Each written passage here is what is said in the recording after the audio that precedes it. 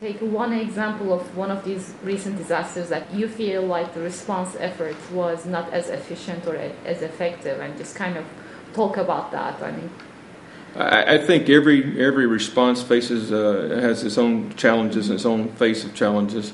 Uh, when you work international, uh, the first challenge is you're working with a foreign government. Uh, they must invite you in. Um, you must, uh, and, and, and, so in that case, trying to figure out how do you work with that government? What rules do you fall under? Uh, are you, for example, in Haiti, we're working debris management. Well, we have our own set of EPA environmental rules and legislation laws that we have to follow. Uh, do you overlay United States law on top of a country? or, or their laws? What, what if they don't have those laws in place? What's my responsibility as a steward of this of uh, one of our our uh, government and our our assets, but also steward of just the environment? So we have to balance that. So that's always a challenge. Uh, I, I, would say in Haiti, uh, that challenge uh, was manifested in that uh, the Port-au-Prince area was destroyed, and so much most of your government, your physical government facilities were destroyed, and a lot of the infrastructure, not only the physical infrastructure, but the governance infrastructure was destroyed, and so that presented a problem. Um, you know, and that's highlighted by it is an island, and so you have limited points of entry. You have ports, both air and sea, uh, but those were also damaged. So I, I think, while I would say it was not a, a failure, mm-hmm but it is it is an area that we have to work at. And Is how do you quickly gain access to an impacted area, uh, working with that government, be invited in uh, in an area which has damaged infrastructure. Um, so, in terms of, uh, I, I, know that you've mentioned some pre-planning. Maybe this is not exactly what you had in mind, but could you think about in a pre-planning type of activities mm-hmm. that you could have done, or not you personally, but that could have been done in the humanitarian response community that would help mitigate those kind of challenges? Uh, well, I think the area that we have to work on is we're good at fighting the last response, and so we will probably look at Haiti, and then over the next six to eighteen months, work diligently, diligently in the Caribbean area and in South America, uh, or we'll focus hard on uh, earthquakes and response to earthquakes. And so we, I think we have to be, be careful not to fall in that trap and look holistically. And so I, I think the area that we have to work is, is our partnerships, our networks. Um, one of my bosses told me, you know, you know uh, Frank, you need to make friends before you need a friend. So our job is to make friends early and make friends often. And how do you do that? Well, you network, and it's all about the people. Uh, and so you have to go out in these different regions of the world, assess the environment in which they live in, assess the environments that may be impacted by natural or man made disasters, and then build those networks early on. And so I think that's an area we have to work is building networks and friendships across the international community, across NGOs, our non government organizations, and across our, our, government organizations. And often there's barriers in there, uh, both physical barriers uh, from computer, physical computer barriers, to just um, barriers in, in terms of um, uh, our relationships or, um, yeah, you know, culture. Mm-hmm. So in terms of Haiti, I mean, I know that there are a lot of logistical challenges, especially mm-hmm. in the mm-hmm. very beginning. As you said, it's an island, and most of the points of entries were destroyed. Uh, can you think of any, or do you have in mind any pre-planning type of activities, or you know, long-term activities that could have been done uh, to ease those logistical challenges that happened in the very beginning? Um, that's a tough one uh, in terms of pre-planning. Uh, again, I, I, I, think we, we can't. And not necessarily just your organization, yeah, right. but in general, the whole. Community. In the in the in the international community, I don't I don't think you can plan for every event. Um, it's it's just too tough. There's too many countries, too many hazards out there. But but what you have to have is a is a general construct that you're willing to work under. Uh, you know, some of the challenges early on in Haiti. Who was in charge? What's the Haitian government? uh, but who's in charge of the response? And so coordinating amongst uh, the respond, the first responders from all these nations. And so I think the area we have to work hard on is, is a construct where the international community can quickly come together in support of a nation and, and get over some of the biases and some of, of the cultural differences, uh, and, and in some cases, the egos that come with, with different cultures and, and different countries and, and, different organizations. And so I think that's the area we have to work is, is building. I go back to the networking and partnership. We, we got to have these in place before the event happens. Uh, would that have helped in Haiti? Yes. Uh, did we, did we have a specific Haitian plan, we as the international community, to support Haiti for an earthquake? No. Uh, again, just too tough to do. Uh, but we do have to build on networks and relationships and partnerships prior to the event. I think that's one area that the international community at large has to work on. And, and it's not just, it doesn't fall on the backs of one country, it doesn't fall on the backs of one international organization like the UN, uh, but it has to be regional organizations and bottom up organizations and non governmental organizations that come together. Uh, and that builds this framework and this, this fabric of response and recovery. And, and, and, all of us have a piece, a thread of this fabric. And we got to weave this fabric together so that when we do respond, it's a complete blanket of support. Mm-hmm. Uh, and so that's an area I think we have to work hard at. Mm-hmm. Were you the ones who actually rebuilt the airport in the first 48 hours so that's operational? Uh, the, the, U.S. government yes. had, had a large part of it, uh, the Air Force specifically, in support of Southcom uh, getting the airport. But again, um, as you look at the airport, who owns the airport? The government of Haiti does. Uh, and so you have to go in and start asking permissions. How do you maintain mm-hmm. or execute airport operations safely to land all the, uh, the humanitarian assistance that's coming in? Is that a U.S. lead? Is that a, a French lead? Is that a Haitian lead? Uh, who decides? And, and, and, that's that kind of that, that friction early on and trying to figure out because it's, it's a big safety issue. And, and then also whose rules and regulations we fall under. And luckily, most airports are fall into international governments in terms of this, you know, this, there's international norms for, for an airfield operation. And of course, I mean, uh, I know that, I mean, everybody kind of knew that the U.S. government went and helped to make it operational. Yes. And then also, I think it, it also came in and kind of did allocating of space and yes. landing and so on, so that everybody could start landing. But at, on the other hand, in the international press, press there were a lot of reports there, in terms of, you was. know, you didn't let this plane land and that plane land yes. and all that. So which is I mean, it's just and, that goes to show that like what you're saying yeah. is so correct. Yeah. And that goes to that, that that building that network and that partnership. Now, you know, Haiti is in our backyard. It is part of the Americas. And so we would hope that America would take a, a you know a, a, strong lead there. Uh, as we look around the world and as you respond as a government, there are certain areas that you want to respond uh, and monetarily because that, that's the best fit. Uh, but when the event is in your backyard and it's part of the Americas, you want to make sure that America, as one of the countries in this in this hemisphere, mm-hmm. uh, provides uh, that support, in, and, the face of America is down there. But it is a challenge, you know, because you're working with a government that that, that has been destroyed physically in terms of its, its infrastructure, uh, and it's trying to rebuild and, and, gain some semblance of governance. Mm-hmm. At the same time, you have lots of governments come to them. We're here to help. We're here to help. Mm-hmm. And sometimes uh, they, they want to take a tactical pause and just say, "Stop. Let us catch our breath. Figure out who's alive, who's who's you know who's uh, still capable of providing governments, and then you know then start mm-hmm. the, the, their support." So when we start thinking about the medium term and the long term response, what do you think is uh, your organization's role will be, and how long do you think you will be there? Um, I'm not sure on the duration. Uh, there was a, a couple meetings, uh, one in, in, in, Canada already, in terms of looking at donor nations to support Haiti. Mm-hmm. I think the government of Haiti has to figure out what do they want from a long-term recovery aspect.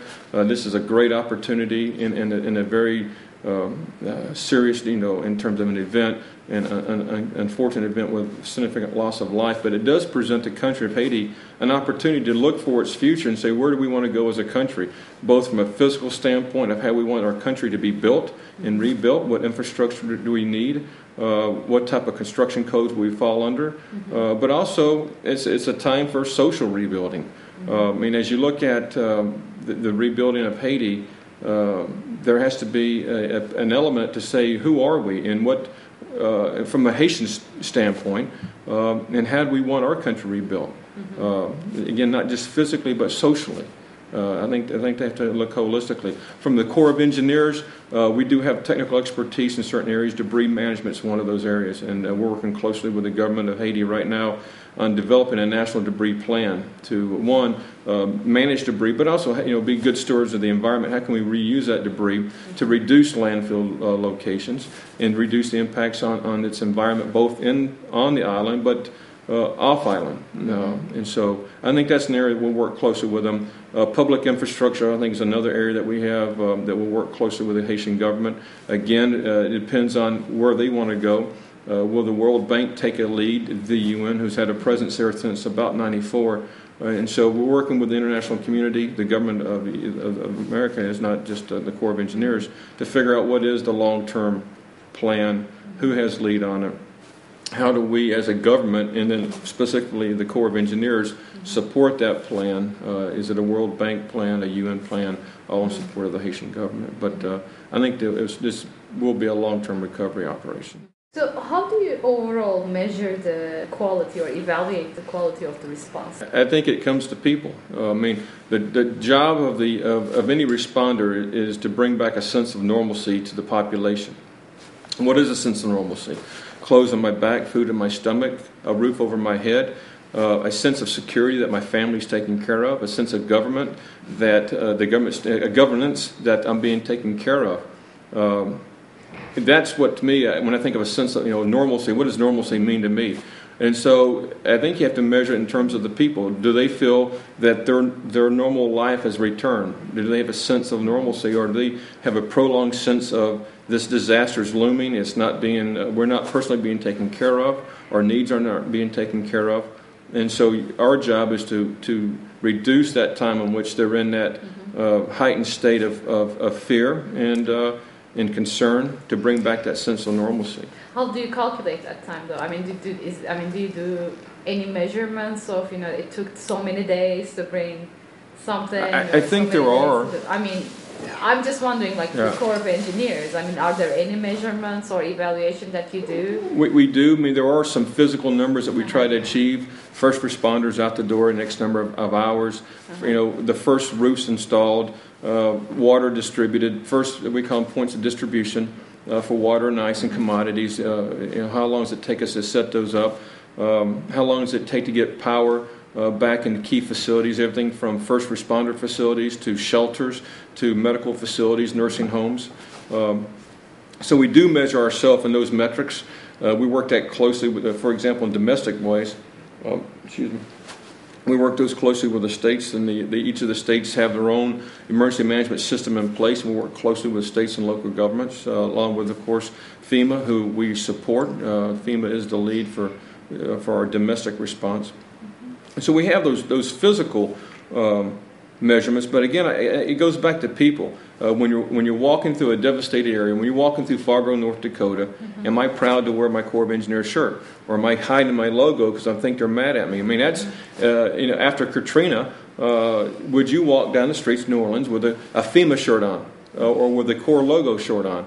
I think that's a, a measurement. I mean, how successful successful you are, and frankly, after Katrina, um, I probably would have been uh, very nervous about wearing my Corps of Engineers shirt, walking downtown uh, the French quarters. I think uh, a lot of the uh, both state and federal responders would, would, would say the same thing if they were being honest with themselves, and, and the local responders. Um, that, that is a case where, uh, as you look at all levels, individual preparation, we as individuals in this country have a responsibility to be prepared for incidents.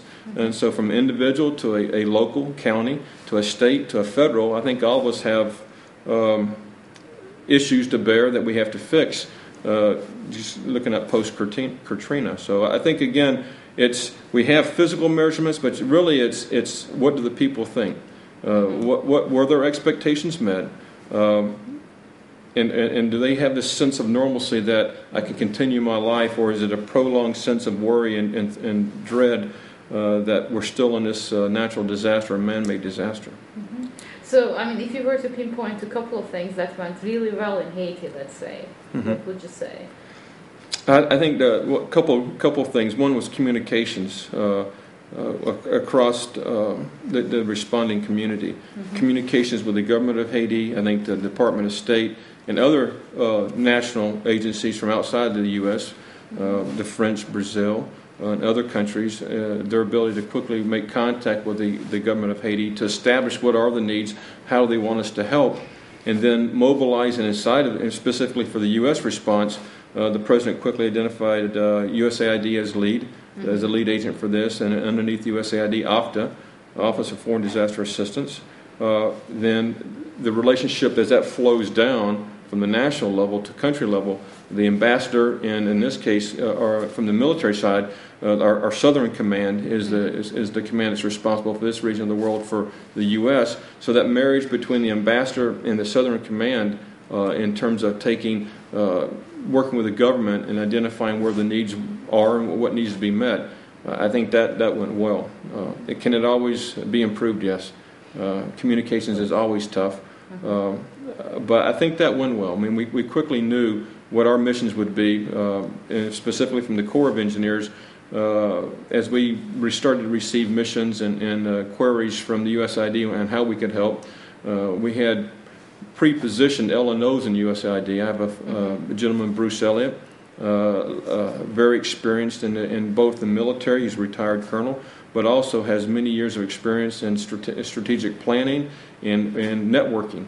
Uh, uh, he's a people person, and so he's my liaison officer at USAID. Um, we just put him there about a year ago, but he, in that short 12 months, he's made the relationships and the networks so that when, when this happened, we had a, a natural conduit into USAID um, to, to begin to understand where they needed help, USAID from us, and where we could help.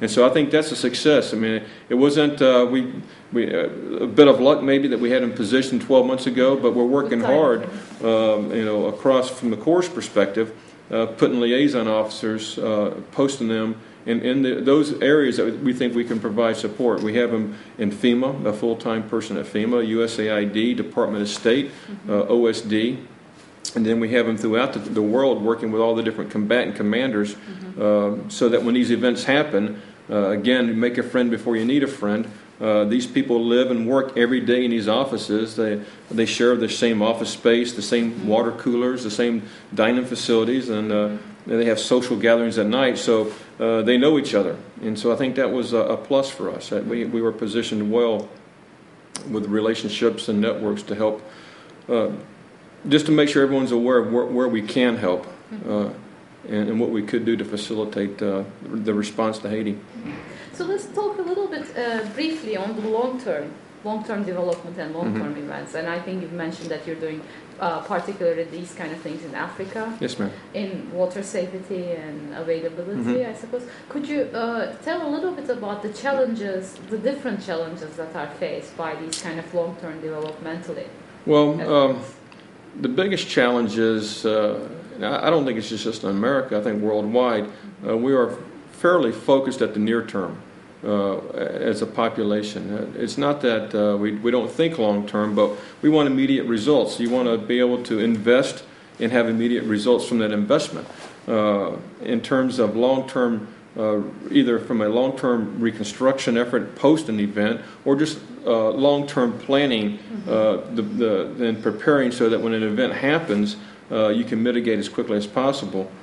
I I think that's the biggest challenge. People want immediate results. They want to see the investment and they want to see the results of the investment. So, from a U.S. standpoint, uh, that, that's time and dollars. Uh, Two of the most precious uh, things that we have right now is to, in terms of how much time, personal time, uh, how much uh, human capital are we willing to allocate toward a long-term event, uh, and how much fiscal dollars are we willing to put against that to, to, to achieve a, an end state. Uh, we're lucky in that I think we've had a longer term view. I think we've, we've learned not only as our nation, but all nations and all responders have learned that uh, if your sole mitigation uh, to an event is a fast response, then you're probably you're behind before the event happens. I mean, i- i- if all you are betting on is that I will respond quickly and professionally, and that's how I'll mitigate uh, uh, an event, uh, we've missed the mark. And so I think we've learned that to mitigate properly, you have to have planning ahead of time. You have to have a, a very, very dyna- dynamic and quick response, but you also need long term recovery. So I think we understand now that there are, I'll say, three phases of the operation, but you have to plan, you have to respond quickly, but then you have to recover long term. So I, I think. Um, I think that's an area is that, that short-term mentality that we have to get over. I think we have gotten it over in, in a lot of cases. I think Africa is a great example. We're doing, we've been working in Africa for years now in terms of water surety and water resilience. Uh, and as you, you know, look across the uh, different magazines and academia and, and, and institutions, there's lots of discussions on where, where, what are the next wars, what, and what will be fought over. One of the topics, food and water, energy. And so I think we have to look long term in those areas. I think Africa is a great example working with the, mi- um, the uh, Millennium Corporation, um, doing long term water resilience and water surety programs. How can we educate the public and the donors and the governments uh, to invest in these kind of more long term? Uh, like, what should be the message, or what? How should you be measured, so that actually the measurement includes the long term efforts? Yeah, that's a good question. You said no hard questions. Sorry. Uh, gosh almighty. Uh, that, that's a tough one. It, it is, uh, I, I think it's just a recognition that, it, that the world is, is, is one large community, uh, in that we, we have many different nations, uh, but we all have a responsibility to each other. And understanding that the responsibility sometimes forces you to go outside your, your borders. Um, and as leading nations, uh, those who are postured both uh, with uh, technical skills like America has, uh, monetary uh, capabilities like America has, but also global reach that America has. We, you have to be willing to, to, to accept that responsibility and, and to execute it. It- but it is a tough one. It, it's, I, I don't know if there's one thing you can do. I think you know, the global communications and the global networking amongst uh, young college students. I mean, you look at Georgia Tech, and, and uh, this morning we heard about the many different uh, networks that Georgia Tech has throughout different countries. I think those kind of things help when you start interacting at that level, at the collegiate level, and academia, but also uh, in our young citizens, so they come up with this sense of you still have a national sense. I mean, we're, we're, we're Americans, uh, but we also have a sense that we have a piece and a place to, to, to play in this world. Um, I think that helps. But there is always a friction there uh, between national needs and international needs. This kind of emergency response, disasters, Mhm. and, and so on is, is a challenging field to be in. Yes, why, why do you do it personally? Uh, I, I th- I think part of it's um, personal satisfaction. Um, I enjoy the military. I love what I do. Um, and I think uh, some people don't realize just how many humanitarian assets or how how many humanitarian efforts that the military executes. Uh, the military is about people. We're a people organization. Our job is to, to, to defend the, the peoples of America. Uh, but in that endeavor, we have the great opportunity to work with other nations. So I remember some of my first ones, uh, the Ecuadorian uh, earthquake of 1986, I think was my first humanitarian response, 86 or 87, uh, the earth, earthquake in Ecuador. Uh, but as we live and work with other countries, I lived in, in Germany for six years. Uh, I had a great opportunity to work in Southeast Europe, Romania, Bulgaria, Albania, uh, Fyrom, uh, Kosovo, uh, and, and worked in, working uh, to rebuild orph- orphanages, schools, ambulantes, um, bridges, roads. You, you just get this sense of completeness that, that you're giving back something.